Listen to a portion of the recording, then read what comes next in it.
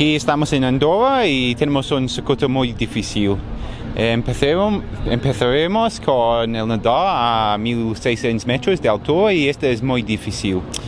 Eh, pero después tenemos 90 kilómetros con 2200 de desnivel y es una locura, es espectacular el segmento de bici y probablemente es lo más duro de los tres.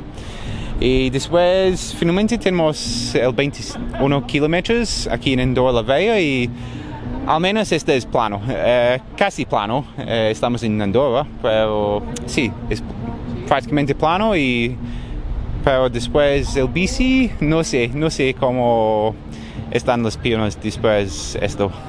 Eh, bueno, el circuito yo creo que va a ser un circuito entretenido, ¿no? Realmente la natación será importante, el hecho de que nadamos a 1600 metros, el oxígeno no va a llegar como llegaría normalmente. Recuerda bastante al Peduez, ¿no? La piscina de arriba, que es agónico.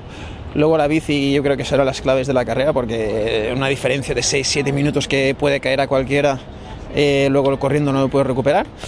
Y bueno, mm, las bajadas, las subidas jugarán un, papel muy importante y luego la carrera a pie, pues bueno, es, es, más o menos llana dentro de lo que es Andorra e intentaremos jugar las bazas donde, donde creamos que, que podemos el domingo.